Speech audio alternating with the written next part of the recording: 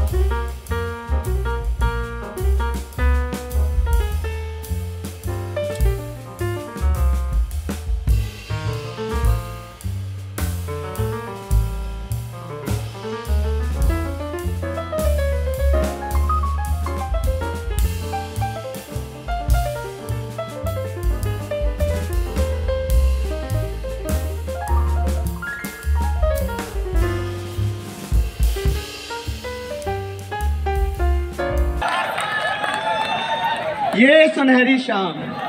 और ये यूफोरिया का प्रोग्राम।